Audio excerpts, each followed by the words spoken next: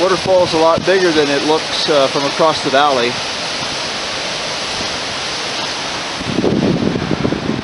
Still got a ways to go. Well, I'm up closer to the cave now. I have to be very careful here because if I slipped and got into that stream of water, it'd be like a slide right to there where it drops to free fall 100, 150 feet straight down off of the waterfall. I better treat this with exceptional care. I must admit this is not quite what I expected. I generally don't have a fear of heights per se or claustrophobia, but I must admit I've just discovered I have a pronounced fear of being washed away in freezing cold water.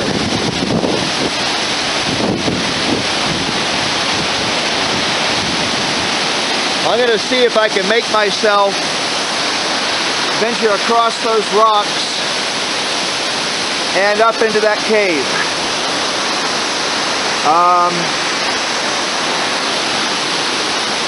if the next scene you'll see is me inside the cave, you'll know I did it. If not, you know I chickened out. Uh, I'm on the other side of that now. I had to let my boots get soaked and wade across part of it. There's no way to step on rocks. I'm uh, trying to stop from hyperventilating now. I discovered that I have a very real phobia. Scared me to death just wading across that water.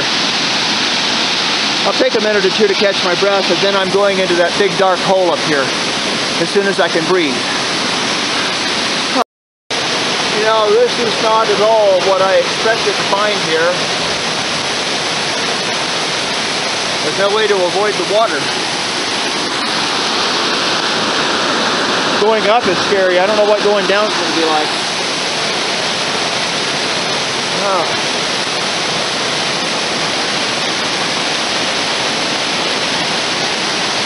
don't know about this.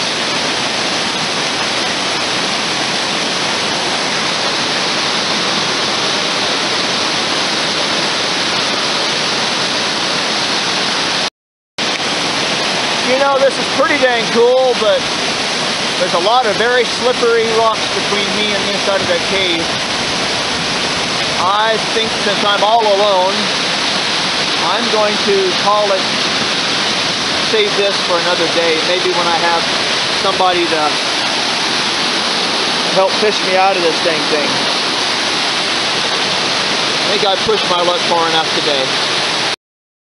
I'm about halfway back down now. If I'd slipped up there and actually got into that lower part of that stream, the next about 20, 30 feet farther down is that. Yeah, maybe another day.